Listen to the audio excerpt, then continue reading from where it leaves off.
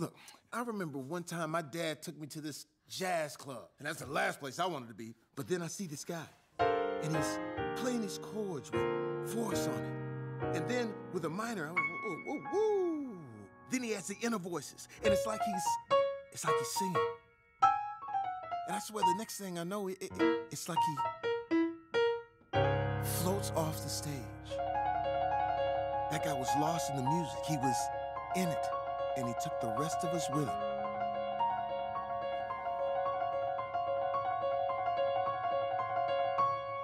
And I wanted to learn how to talk like that. That's when I knew I was born to play.